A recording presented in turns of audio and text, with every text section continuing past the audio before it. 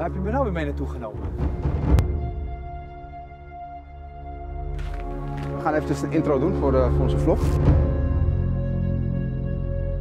We hebben een hele vage uitnodiging gekregen van een Elsa Crow.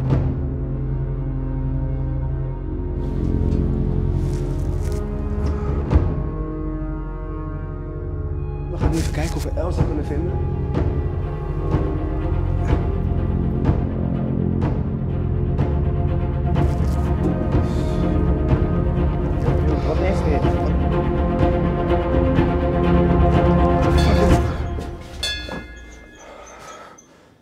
Ben- jij Elsa?